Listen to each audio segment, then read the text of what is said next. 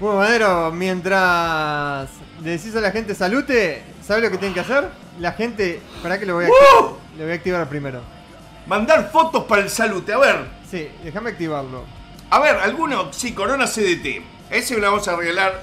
Se, se van a, a ganar un- una mandada a la reconcha hedionda de su madre.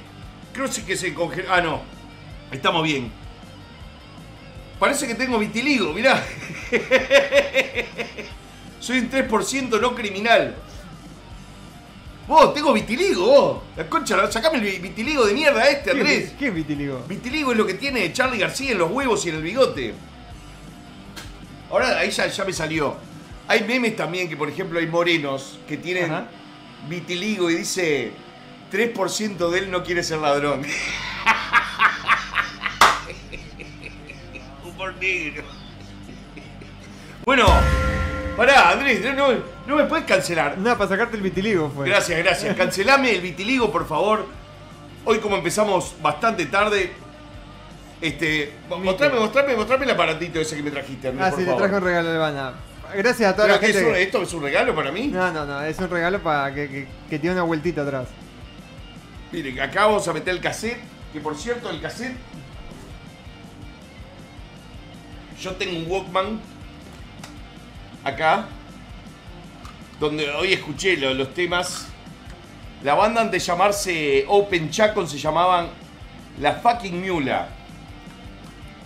Pero después le pusimos La Fucking Mula una canción. Y tal, le dijimos, no- no queríamos ser esa banda que tiene una canción llamada igual que el nombre de la banda. Digo, después me enteré que Black Sabbath también, su primer gran temón se llamaba Black Sabbath. Pero bueno, este, no quiero amargarles la noche haciéndonos escuchar la mierda esta. Para el viernes que viene te comprometes a digitalizar el cassette. Sí, voy, voy a, voy a ver. eh, no, como les digo, es algo. eh, no sé, no, no- no era, no era mi momento más lúcido. Era cuando salió. eh, creo que Molotov no había salido, pero en Uruguay había una explosión de bandas de esas. Salió este, el Peyote Asesino, Plátano Macho. En Argentina estaba Ilia Curiaquín de Valderramas.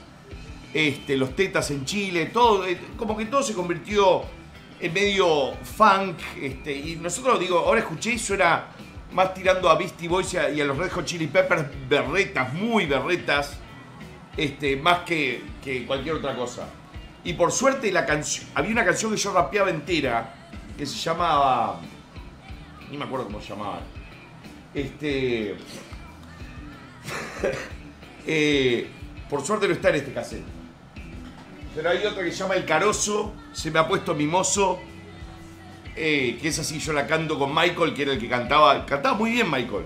Este, y, entre todos musicalmente no estaba tan mal, pero era un- da un poco de cringe, la verdad. ¡Salute!